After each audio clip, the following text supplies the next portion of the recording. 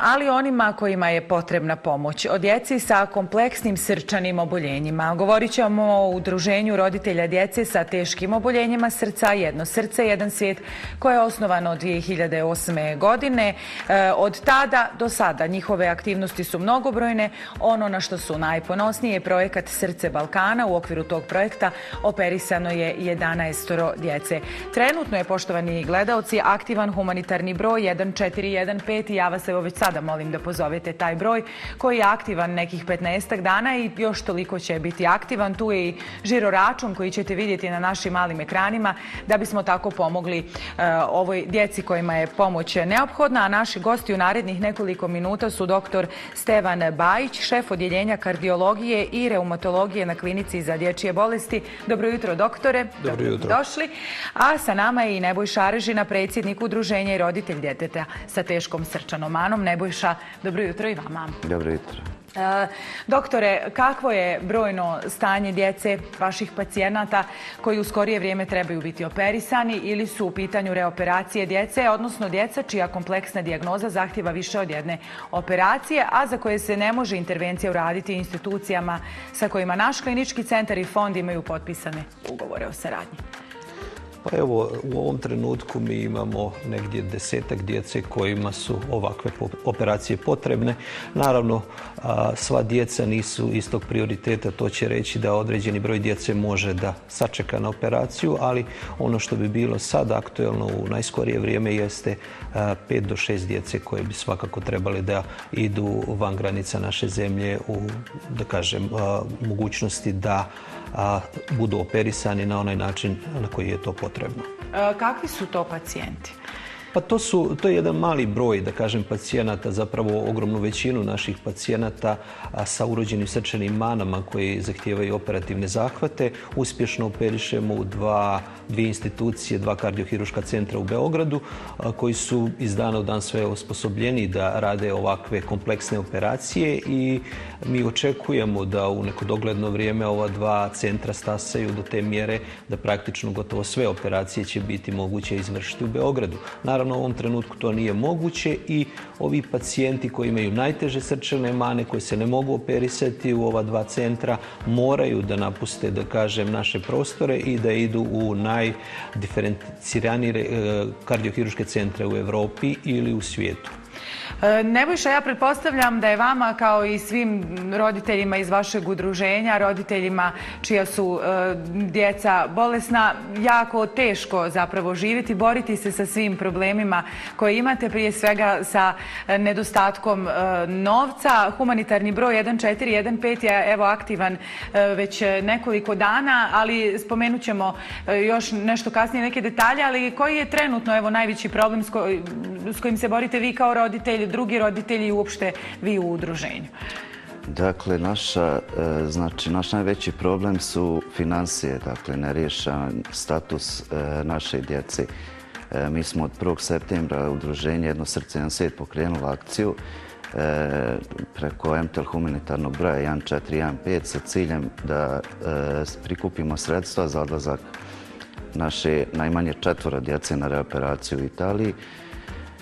E, dakle, e, projektom e, Srce Balkana, projekat Regije Toskana u Italiji, naše 11 djece je već operisan u Italiji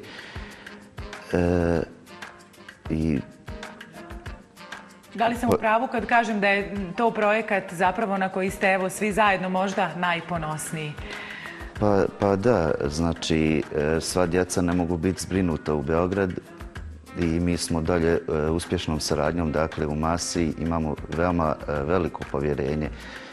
E, mi, imamo znači ponudu od klinike u masi prema fondu našeg zdravstvenog osiguranja za cijenu operacije od 15.000 eura, fiksnu cijenu operacije, bez obzira na težinu i postoperativni tok.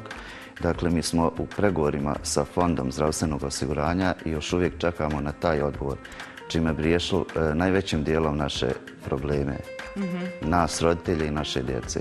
Doktore, da li je to upravo jedno od rješenja? Da, pa definitivno najbolja rješenja su sistemska rješenja. Dakle, nešto što neće biti od slučaja do slučaja, nešto što neće zavisiti samo od ovoga načina na koji sad to rješavamo. Iako moram da kažem da je Fond zdravstvenog osiguranja u više navrata izišao u susret i finansijski potpomogao liječenje ove djece. Dakle, Fond jeste do sada učestvovao u liječenju ove djece, ali svakako da bi bilo uz, naravno, dužno poštovanje trenutnog finansijskog, da kaže, trenutne finansijske situacije i ograničenja koje imamo u tom pogledu da pacijenti praktično iz Republike Srpske se u ovom trenutku ne mogu liječiti u drugim centrima, kardiohiruškim centrima u Europi i u svijetu, osim u Republici Srbiji. Praktično sistemsko rješenje, dakle iznalaženje načina da se ova djeca šalju na osnovu naravno ugovora, to bi bilo optimalno rješenje i onda bi, da kažem, imali mogućnosti da svu našu djecu iz Republike Srpske liječimo praktično na onaj način kako se liječe djeca u najrazvijenijim državama svijeta. E, ovo je svakako tema o kojoj bismo mogli mnogo da pričamo i u nekim narednim izdanjima jutarnjeg programa hoćemo, komunicirat ćemo i sa našim gledaocima.